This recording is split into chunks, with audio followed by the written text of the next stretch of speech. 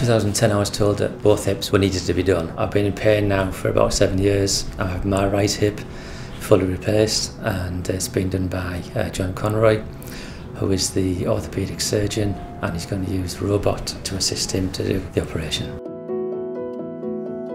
I'm a sportsman first and foremost, so for me it's been a real hindrance, so running marathons, half marathons, but I, I did that with a hip being poorly, so I'm looking forward to zero pain if that's possible.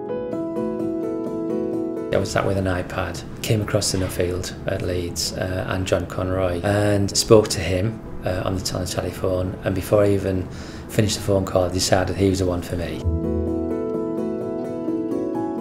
And just today it was all very, very systematic, very, very friendly, lovely rooms. I have no fear whatsoever going in that operating theatre at all.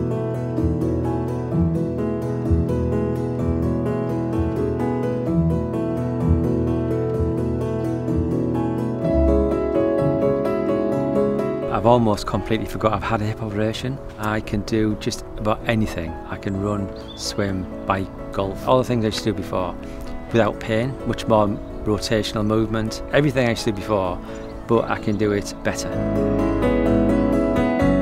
The reason why I chose the robotic assisted surgery is because I am an engineer, I fully understand engineering.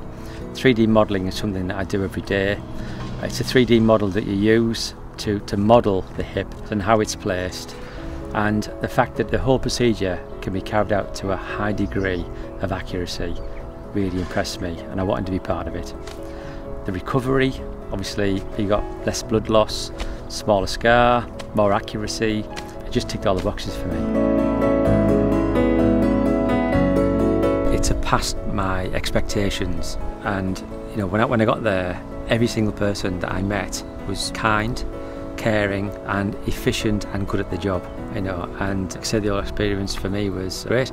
In fact um, I would like to have stayed in a few more days to be honest. I was only in one day so that was uh, that was uh, that was really good really good